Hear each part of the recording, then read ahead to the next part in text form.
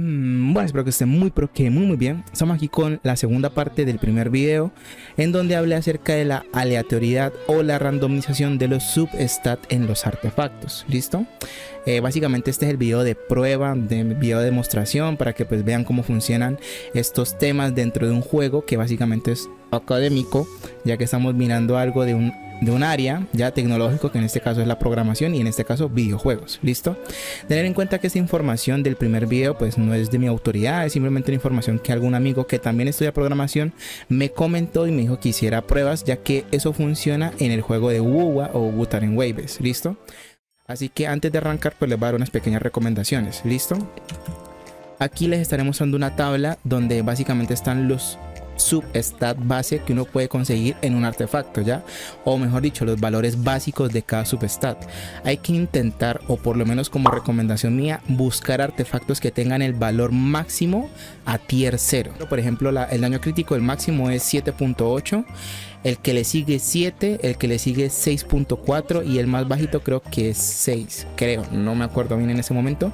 Y probabilidad crítica lo mismo, 3.7, 3.4, 2.9 creo que era y el último más bajito 2.7 creo. Entonces digamos que traten de tomar siempre los artefactos con mayor porcentaje base. ¿Listo? Ya sea para ataque, ya sea para daño crítico, ya sea para maestría elemental, lo que sea. Ya que estos van a escalar de una mejor forma, ¿ya? Ahora bien, yo aquí ya tengo unos artefactos que están filtrados. O espero que sigan filtrados, no están filtrados. Eh, bueno, eh, yo por ejemplo por aquí tengo un artefacto que estaba bonito. Por ejemplo este, daño dentro y tiene probabilidad y daño crítico. Este probabilidad del 10% lo saqué básicamente con las pruebas que yo, que yo hice con la, con la semilla de randomización. Ahora bien, eh, ya va a ser minuto 7, listo. Entonces eh, aquí les voy a mostrar, bueno, yo creo que no sé mucho, pero ya les voy a poner a grabar la pantalla de la tablet para que puedan ver, digamos, el reloj ahí en vivo, ¿ya? Entonces, bueno, sincronizando audio 1, 2, 3, para después poder coger la grabación de la tablet y que funcione sincronizando audio, jajaja, bueno, listo bueno, ahí pueden ver que son las 46.58, ya van a ser las 47. Eh, digamos que yo solamente puedo hacer pruebas con la probabilidad y el daño crítico, ¿listo? Porque hay muchos artefactos y el consumo de esto es bastante alto. Entonces se me acaban los materiales muy rápido. Entonces, bueno, la idea es que estemos en el minuto 7. No importa, tiene que ser siempre minuto 7.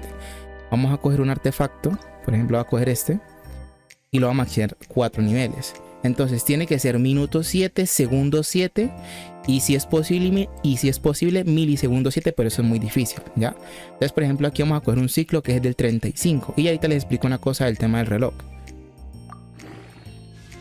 Bueno, ahí voy a maestría elemental. hay que ser muy exactos, pero ahorita les explico más o menos por qué el tema de la exactitud, porque pues me alcanzó el ciclo mientras grababa la introducción. Que no quería que fuera tan larga, pero bueno. Bueno, ahí estamos viendo el reloj. 54, 55. Daño crítico. bueno. Ya estamos en el minuto 48. Les voy a dejar grabando el reloj para que vean pues que lo estoy haciendo en tiempo real, lo que les voy a explicar ahora. Ahora viene la segunda parte de este video, que la verdad no sé cuánto llevo grabando. Ojalá que no sea tan largo. Y es, bueno, cómo funciona ahora el tema de la hora. ¿Ya? Y digamos, hay que tener en cuenta unos factores. Eh, ten en cuenta que del servidor local nuestro, o bueno, desde nuestra red local al servidor de Hoyoverse, donde está el juego de Genshi, o bueno, donde se alojan nuestros datos de cuenta y todo cómo funciona a nivel de programación el juego, el backend, ya.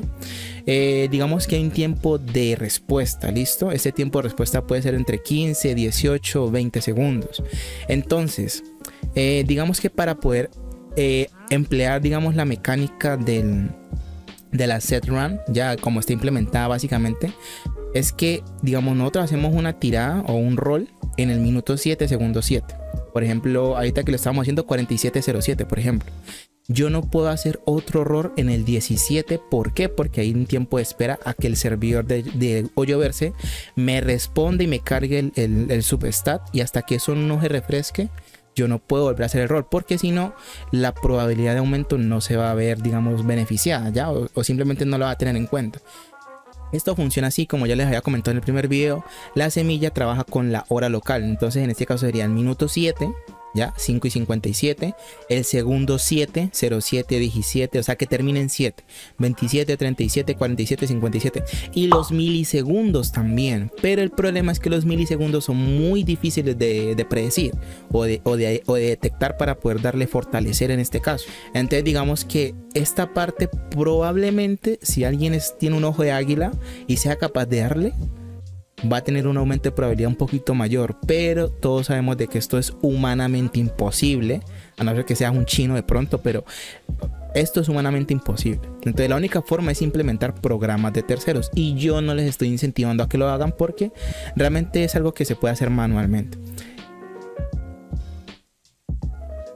Que como les digo, no es 100% seguro, es un aumento de probabilidades, pero siempre ayuda. O sea, como dice el dicho, mejor es nada. ¿Cierto? Entonces, algo que tienen que tener en cuenta con el reloj que les estoy mostrando ahí en pantalla, que yo después les dejo abajo la descripción para que lo revisen y lo miren, que es simplemente una página de reloj, básicamente un reloj eh, atómico, un reloj normal, ya, que es bastante preciso.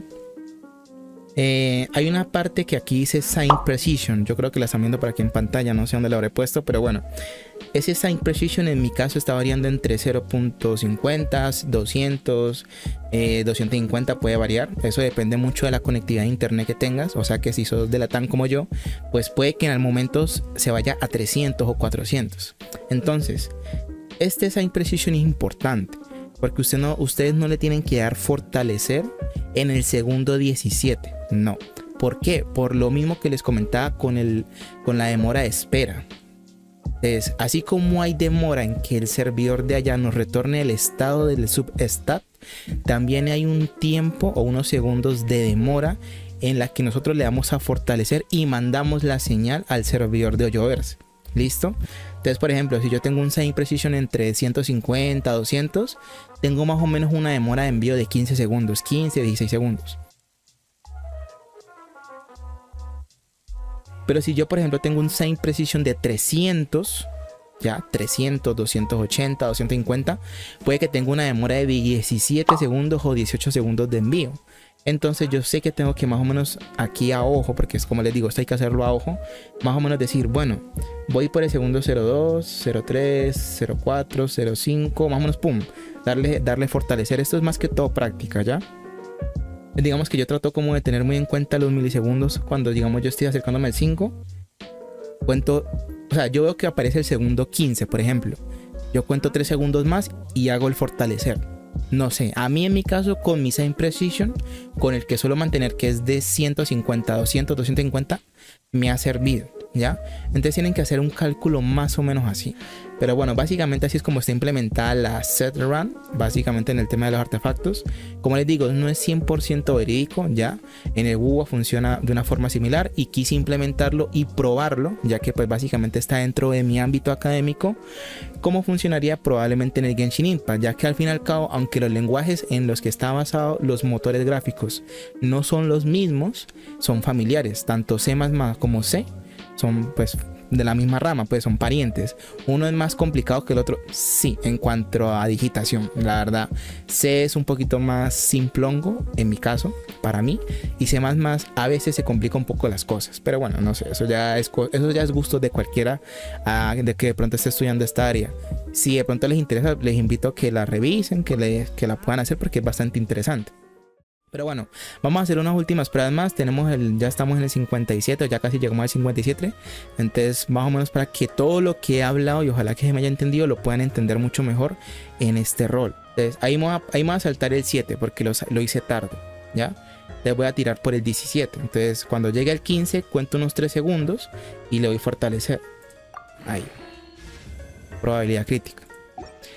Ya van tres veces que me subí este artefacto bien. Por ejemplo, voy a coger otro antes que me coja la tarde. Este, por ejemplo.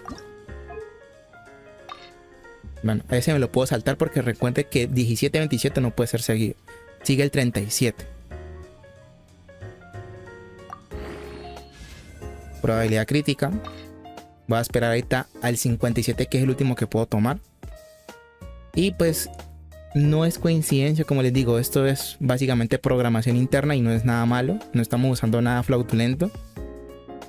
Y vamos a ver el último. probabilidad crítica.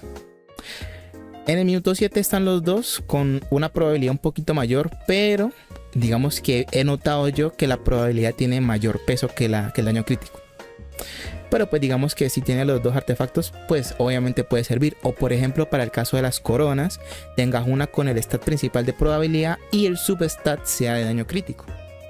Eh, ya no me voy a alargar más con este video, ojalá que no haya quedado tan largo, ojalá que se me haya entendido.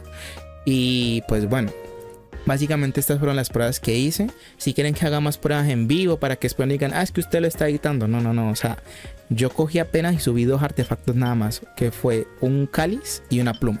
No he tocado nada más. Ah, que me falló en una maestría elemental. Como les digo, no es asegurado, es un aumento de probabilidad que nos da la set run. Y punto, listo, no es asegurado, no se confunde.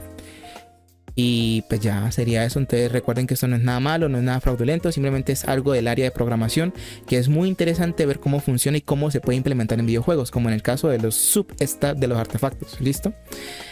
En fin, espero que les haya gustado y nos vemos en la próxima. Bye bye.